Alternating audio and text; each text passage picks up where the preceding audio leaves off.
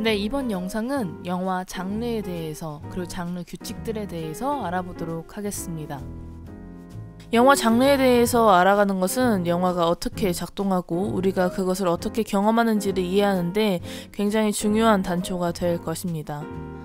우선 우리에게 영화 장르라는 개념은 생소한 개념이 아니죠. 영화 장르에는 어떤 것들이 있는지 여러분들 세네 가지 정도는 최소한 답할 수 있을 거라고 생각합니다. 그렇다면 코미디 장르라는 영화는 어떤 영화들을 코미디 영화라고 하는지 답변해 볼 수 있을까요?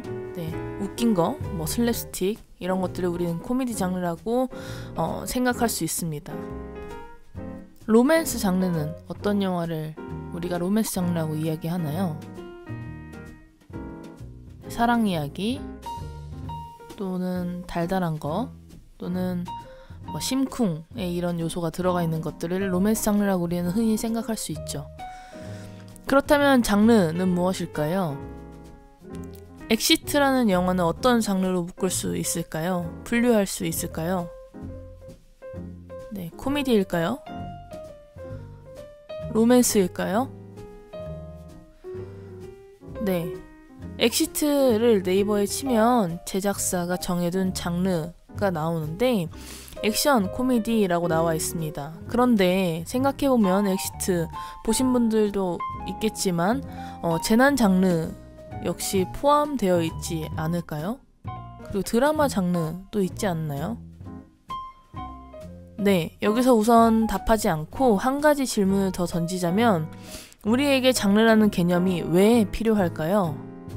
도서관이나 뭐 영화 분류하는 곳, 연구소 이런 데에서 영화들을 단순히 진열하기 위해서 구분법이 필요해서는 아닐 겁니다. 장르라는 개념은 여러 사람에게 굉장히 유용한 정보를 제공하는데요. 그 장르가 필요한 이유는 첫째로 장르를 이해하면 한 편의 영화가 무엇을 이야기하고 어떤 감정을 전달하려고 하는지 알기 위해서고 그리고 관객은 그 영화를 어떻게 경험해야 하는지를 알 수 있고 장르는 또 영화를 즐기는 관객들에게 중요하기도 하지만 제작사나 투자사 또 창작자에게 홍보나 투자 유치의 효율성을 위해서 이 장르라는 기준이 분류법이 필요하기도 합니다. 네, 하지만 관객인 우리에게는 중요하지 않겠죠, 이런 부분은. 우리에게는 내가 보고 싶은 영화를 찾는 어떤 지표가 되기도 하고 어떤 유형들의 영화를 좋아하는가라는 생각을 친구들끼리 공유하는데 도움이 되기도 합니다. 사실 말했다시피 우리는 이미 어떤 장르가 있고 각 장르마다 어떤 스타일의 차이가 있는지 어느 정도는 잘 알고 있습니다. 그러나 특정 장르를 정의하려고 하거나 어떤 영화를 특정 장르로 분류하려고 할 때 어려움이 발생하기도 합니다. 아까처럼요. 네, 그 말은 사실 장르의 특징에 대해서 명확하게 설명하는 것이 어렵다는 반증이기도 할 것입니다. 그리고 또 이 어려운 이유 중 하나는 영화의 장르가 고정된 것이 아니기 때문입니다. 시대의 흐름과 사회의 변화, 관계의 취향에 따라서 끊임없이 재생산되는 것이 장르입니다. 우리가 잘 알고 있는 코미디, 액션, 공포, SF 등의 영화들을 어떻게 그 장르로 묶을 수 있고 분류할 수 있는지 알아보고 또 이 장르가 관객의 태도에 어떤 영향을 미치고 또 영화 산업에 어떤 영향을 미치는지 알아보면서 각각의 장르의 특징들을 자연스럽게 알아보겠습니다. 그렇다면 어떤 기준으로 장르를 분류할 수 있을까요? 주제나 테마로 장르를 분류할 수 있습니다. 예를 들어 갱스터 영화는 도시 범죄를 다룹니다. 주제가 도시 범죄인 것이죠. 공상과학 영화, SF 영화, 미래의 과학 기술을 보여줍니다. 주제가 미래의 세계입니다. 다시 말해 영화가 이야기를 전달하는 방식으로 장르를 규정합니다. 탐정 영화는 사건을 해결하는 조사라는 이야기 구조에 의해서 탐정 장르로 규정되기도 하고 코미디라는 장르는 주제와 상관없이 웃음이나 즐거움 같은 감정적인 효과에 의해 정의됩니다. 그의 하위 장르로 블랙 코미디, screwball 코미디, 슬랩스틱 코미디 등이 있습니다. 역시나 웃음이나 즐거움이라는 감정적인 효과를 낳지만 그 감정은 조금 다릅니다. 마찬가지로 서스펜스 영화도 긴장이나 무서움의 감정을 유발하는 장르를 이야기합니다.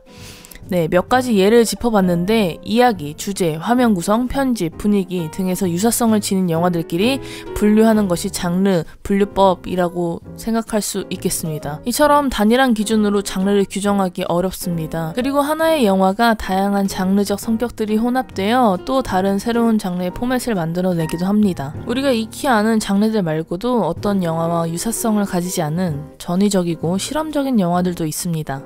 이런 영화를 우리는 실험 영화 분류에 넣기도 합니다. 그러나 장르 세분화가 워낙 많아지고 하늘 아래 새로운 것이 없다는 말처럼 분류할 수 없는 영화들은 사실상 없다라고 보시면 됩니다. 그러나 분류하기 어렵다는 것은 이제껏 존재하지 않은 어떤 새로운 영화라는 이야기일 수 있는데 그 말은 다른 말로 대중적이지 않다라는 말로 해석할 수도 있겠습니다. 또 그렇게 새로운 영화가 대중들이나 영화 판도를 바꿔 흥행 가도를 달린다면 관객들에 의해 영화 제작자들에 의해 새로운 하나의 장르로 탄생하기도 합니다. 단순히 어떤 이야기 구조를 가지고 있고 어떤 감정을 유발하고 이런 것들보다 좀 더 구체적으로 장르를 구분 짓는 방법을 보면 장르 영화들끼리의 공통점, 유사성, 그리고 반복적으로 등장하는 습관들이 있는데 이것들을 이용해서 분류하는 방법을 사용합니다. 이것을 장르의 공식 혹은 관습이라고 하는데 공식화된 이야기 구조나 양식화된 캐릭터나 반복적으로 등장하는 장면들을 말합니다. 여기서 도상이라는 것도 있는데 쉽게 말하면 세부 특징 혹은 상징적 이미지입니다. 플롯, 이야기 구조 가 관습적인 경우를 예를 들어 보겠습니다. 미스테리 영화에서 항상 누군가에 의해 조사하거나 사건을 파헤치는 장면이 분명히 등장하죠. 서부 영화에서는 항상 선악 구조, 복수의 플롯이 있습니다. 갱스터 영화에서는 항상 갱스터가 경찰이나 라이벌들과 대치하고 그 과정에서 일어나는 성공과 몰락이라는 이야기 구조가 있습니다. 등장인물이 관습적인 경우를 예를 들어 보겠습니다. 경찰 스릴러의 경우 의심스러운 제공자, 우스꽝스러운 조수, 경찰 분대로 하여금 사건을 추격하게 시킨 참을성 없는 반장 등이 등장합니다. 영화적 기법이 관습적인 경우는 스릴러, 공포 영화 장르에서는 어두운 조명을 반드시 사용한다는 것이고 액션 영화에서는 비교적 빠른 편집과 슬로우 모션을 적절히 섞어 사용하는 액션 장면이 반드시 나온다는 것이며 멜로드라마 영화 장르에서는 갑작스럽게 흘러나오는 가슴 아픈 서정적인 음악이 반드시 사용된다는 것입니다. 다시 말하면 해당 장르 영화에서는 관습적으로 해당 기법들이 사용되거나 항상 등장하는 관습적인 등장인물이 존재한다는 것입니다. 장르의 관습과 더불어 좀 더 세부적인 도상이라는 개념이 있습니다. 쉽게 말하면 화면에 보이는 세부 특징 혹은 상징적인 이미지뿐만 아니라 스타 배우도 포함이 됩니다. 소품이나 배경을 예로 들을 수 있는데 이러한 세부 이미지들이 도상입니다. 어떤 장르의 영화인지 맞추어 볼까요? 기관총, 사막 같은 평야, 허벅지에 찬 권총, 카우보이 모자. 네, 서부 영화의 도상들입니다. 다시 말하면 서부국에서 반복적으로 등장하는 이미지들이자 아이콘입니다. 우리는 그래서 아주 잠깐의 영화 스틸컷을 이렇게 보고도 장르를 예측할 수 있게 됩니다. 또 한번 맞춰볼까요? 흰검 양복, 골프채, 쇠파이프, 야구방망이, 특히 은색의 야구방망이, 양복 입은 사람들의 무리. 네, 우리나라 조폭 영화의 도상들이죠. 우리나라 조폭 영화에서는 무조건 반복되는 관습들 그리고 도상들이 굉장히 많이 존재합니다. 그만큼 뚜렷한 장르라고 이야기할 수 있습니다.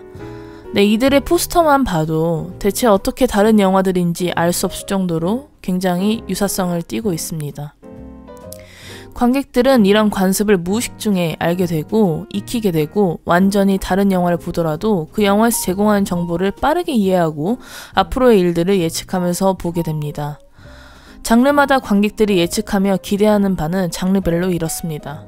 코미디라면 아, 이 영화를 보면 웃기겠다 라고 생각하고 액션이라면 박진감을 넘치는 활극을 기대합니다. 공포 영화라면 놀람, 무서움, 그리고 스릴러 미스테리라면 긴장감 추리, 반전, 휴먼 드라마라면 인간의 희망, SF 판타지라면 시각 효과나 현실에서 불가능한 어떤 일이 일어날 것을 이 장르들의 영화에서 기대하면서 관객들은 영화관을 찾고 그 기대감을 충족시키는 영화를 봤을 때 아, 이 영화가 재밌었다 라고 이야기하게 됩니다. 그 반대의 경우 실망할 수 있겠죠. 다시 말하면 관객은 우리는 장르가 주는 친숙함을 기대하고 영화관에 찾습니다. 그 친숙함과 안정감을 바탕으로 낯설고 새로운 재미를 찾아내려고 합니다. 장르의 관습을 철저히 지키고 새로움이 없다면 뻔한 영화가 될 것이고 새로움만을 강조한다면 무슨 말인지 이해 못하는 어려운 영화가 되기 마련인 것입니다. 이렇게 장르를 잘 이용하는 우리나라 대표적인 감독이 있습니다. 바로 봉준호 감독입니다. 봉준호는 장르의 공식과 관습을 잘 지키는 영화들을 찍는 것으로 여겨집니다. 다시 말하면 그가 찍는 영화들은 스릴러, 서스펜스물이 많은데 이러한 장르들의 공식과 관습을 잘 지키면서 장르 규칙을 따르는 듯 한 영화를 찍는다는 것이죠. 그러나 자세히 들여다보면 봉준호는 이러한 장르들의 변주를 능수능란하게 영화에서 합니다. 봉준호는 이렇게 이야기하기도 합니다. 나는 분열적인 욕구가 있는 것 같다. 즉, 장르 자체가 갖고 있는 시네마틱한 흥분을 좋아하기 때문에 그것을 따르고 싶지만 동시에 그 규칙을 깨부수고 싶어 하는 마음이 충돌한다. 라고 이야기합니다.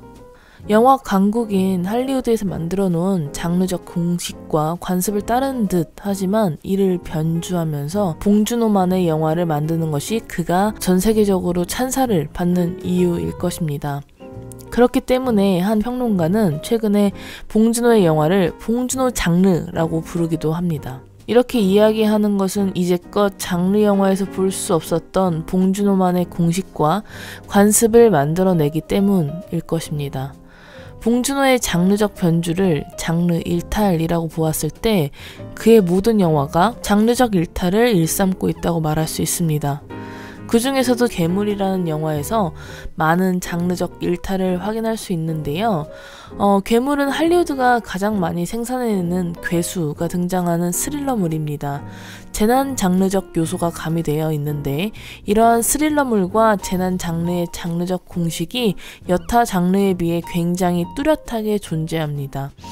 몇 가지 예를 들어보면 괴수 장르에서 괴물을 물리치는 주인공은 사회적으로나 도덕적으로나 영웅 같은 존재가 대부분 등장인물이고 괴물은 보통 음산한 공간이나 어두운 밤에 출연합니다. 갑작스러운 괴물의 등장이나 재난의 상황을 온 국민이 알게 되는 그리고 또 관객이 알게 되는 경로는 TV 뉴스를 통해서입니다. 그렇다면 봉준호의 괴물은 어떨까요? 이러한 괴수물의 전형인 공식과 관습을 따르면서 영화를 만들고 있을까요? 한번 확인해 보도록 하겠습니다. 주인공 송광호의 첫 등장을 한번 보죠. 앞으로 괴물을 물리쳐야 할 우리의 주인공이 너무 허술하고 심지어 바보 같은 모습을 하고 있습니다.